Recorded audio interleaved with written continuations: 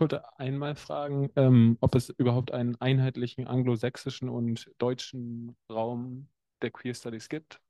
Ähm, und wenn ja, was sind so die großen Unterschiede? Also, weil wenn es eine, immer eine Befreiungstheorie ist oder eine Theorie, die Befreiung thematisiert, so, also kann es da überhaupt große Unterschiede geben? Nach der Trennung, also inwieweit das äh, wirklich so getrennte Felder überhaupt betrachtet werden kann. Weil Befreiung ist Befreiung und äh, es gibt ja nicht eine US-amerikanische Befreiung und eine. Trotzdem ist es ja so, dass, dass ähm nochmal in verschiedenen lokalen Kontexten wird es ja durchaus nochmal anders ähm, ausbuchstabiert. Ne?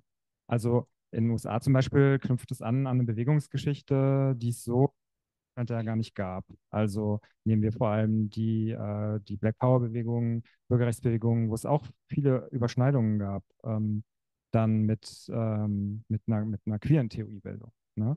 Ähm, oder auch aktuell sagen, ist ein starkes Zusammengehen zu beobachten ist. Ähm, das finde ich überhaupt einen ganz interessanten Punkt noch. Also der nochmal zeigt, dass heute auch die Bewegungen anders funktionieren, die queere Inhalte und queere Positionen auch stärken und vorantreiben.